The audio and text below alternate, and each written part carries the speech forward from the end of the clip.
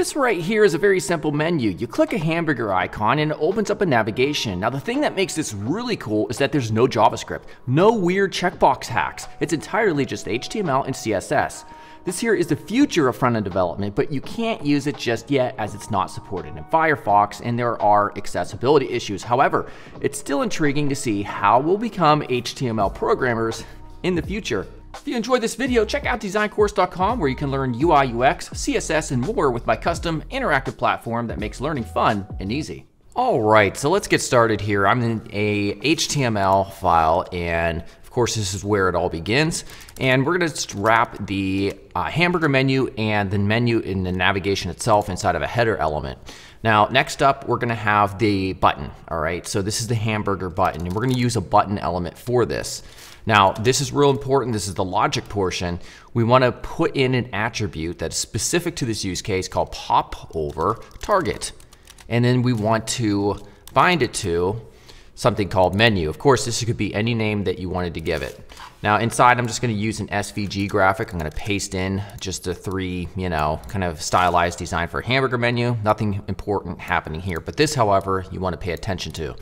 So after the button, we're gonna have a nav, and that's gonna have a few attributes as well. So we have to define an attribute called popover, letting us know that this is the actual popover, the thing that will pop up.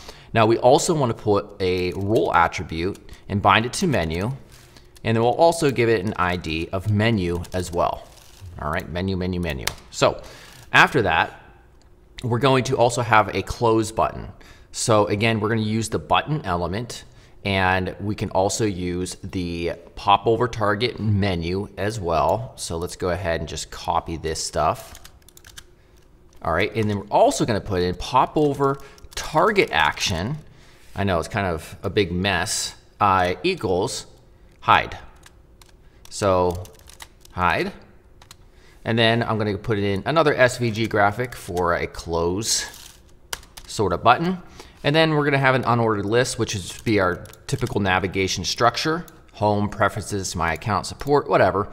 And that's it. I mean, that's literally all we need to do. Just to fill out the page a little bit, I will put a main with an H1 that says No JS menu reveal. Oopsie, right there. Yeah. All right, perfect.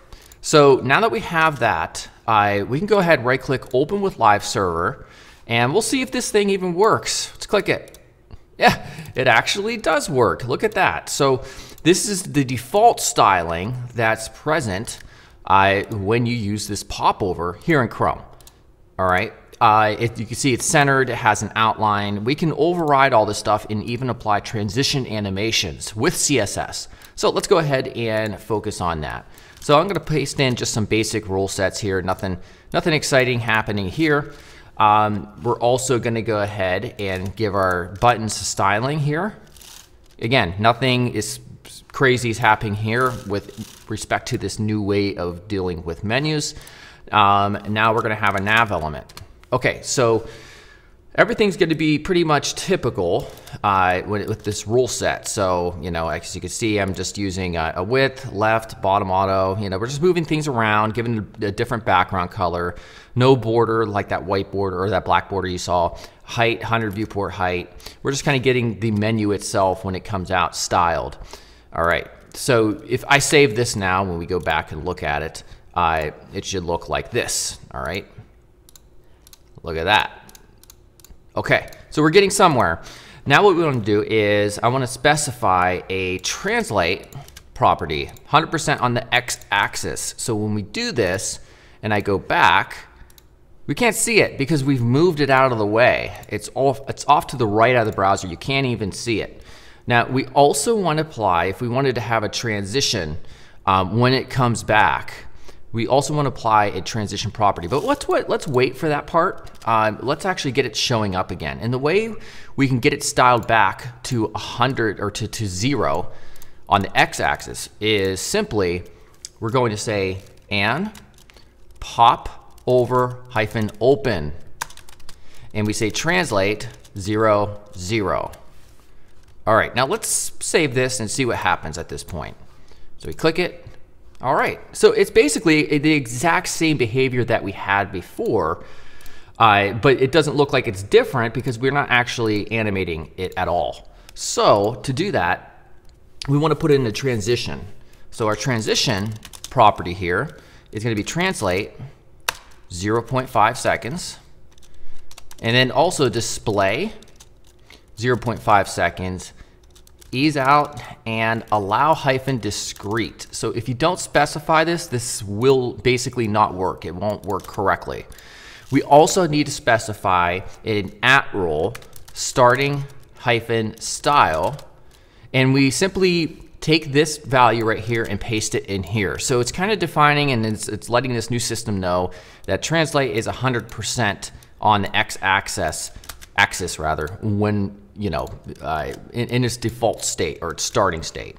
So if we save this and we go back, look at that. So now we have a nice transition and it works exactly as you expect, except without any JavaScript. Um, real fine on a final note, just because this looks so ugly, I am gonna paste in just a few more rule sets right here. Again, it's not really pertinent to the purpose of this tutorial, but I'm just gonna go ahead and do it because I'm a designer. I'm a little bit, I can't leave the tutorial looking like that. So if I click this, there we go, much better. You could add some hover interactions if you wish, but this is exactly how it works. So our close button works, this button works, it opens it up. We can also use the escape key and we could also just click anywhere on the outside of it.